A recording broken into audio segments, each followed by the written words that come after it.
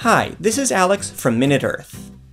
Air conditioners are a modern wonder. They've saved countless lives during heat waves, cooled giant servers to essentially make the internet possible, and in general, made life in warm places more comfortable. But keeping our indoor climate cool has ironically made the outdoor climate much warmer. And fixing the planet warming effect of air conditioners is going to be one of the major challenges of the 21st century.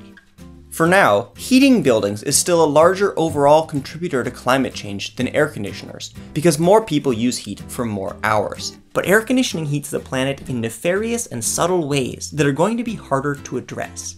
For example, to heat our buildings, we burn fossil fuels, which releases heat and heat trapping CO2. But air conditioning also burns fossil fuels, just out of sight. And that's not their only problem. The way that air conditioners cool buildings is by moving heat from inside to outside. They can pump out enough heat to warm an entire city by a few degrees. And on top of that, when we get rid of our old air conditioners, most of their chemical refrigerants leak out and evaporate. And while only a small overall amount leak out, it just so happens that the refrigerants we use are thousands of times more powerful than CO2 at trapping the Earth's heat. So they warm the Earth nearly 60% extra on top of the warming from the CO2 released to run the air conditioners.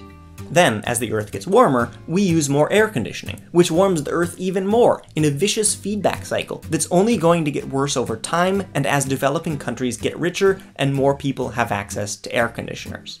Compared to today, we're going to be using four times as many air conditioners in 2050, and at some point, we're going to be using more energy for air conditioning than for heating.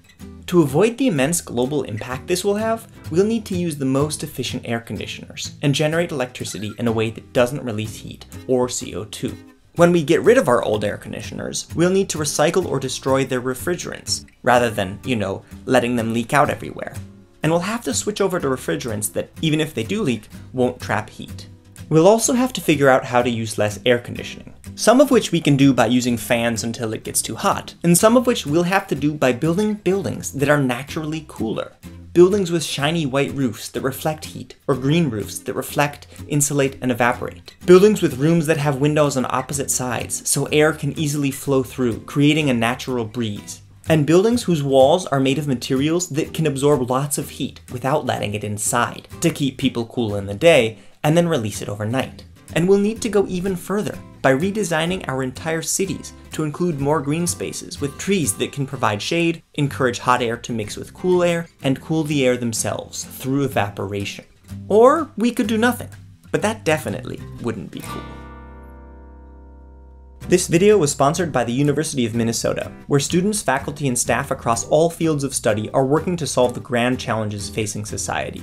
These challenges include adapting to a changing world and ensuring we have clean water and sustainable ecosystems. And part of the solution is to reimagine some of the fundamental structures of modern life, like buildings. Professors Richard Graves at the Center for Sustainable Building Research and Bonnie Keeler at the Humphrey School of Public Affairs are researching how to move from green design, where we make buildings more efficient, or less bad, towards regenerative design, where we make buildings that positively contribute to the local communities and ecosystems of which they are a part. Thanks, University of Minnesota.